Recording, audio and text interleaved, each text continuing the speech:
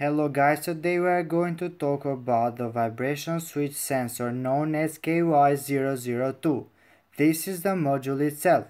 So let's get started.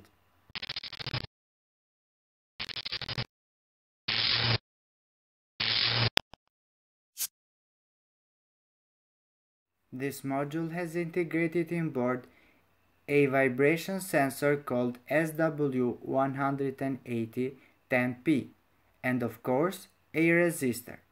The resistor in this module is 10 kilo ohm and the main reason for using the resistor is to limit current circulating inside the module.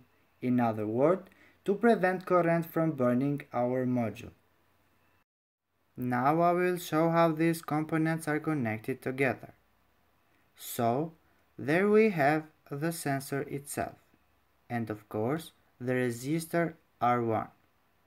On the right you can see how these pins in this module are connected in this board. So we have in red the flow of the voltage. We have in black the flow of the ground and of course we have in green the flow of the signal. This module allows detection of shock and vibration and will react to shock and vibration by closing the circuit. The vibration switch detector in this module is off in the racing state and will be on when achieving a proper vibration by an external force touching it. The result of movement inside the vibration module result in changes in electric property. After giving the information the sensor has sensed the shock, the module immediately will reset in his normal state to wait for other shocks. In other words, the sensor will be on all the time waiting for shocks and vibration to wake the sensor up.